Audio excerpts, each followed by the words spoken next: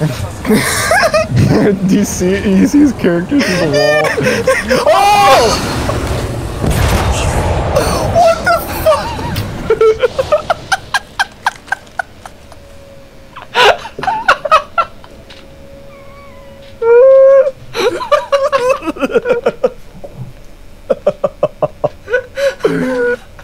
and then you just came in and headbutt the ground at like 90.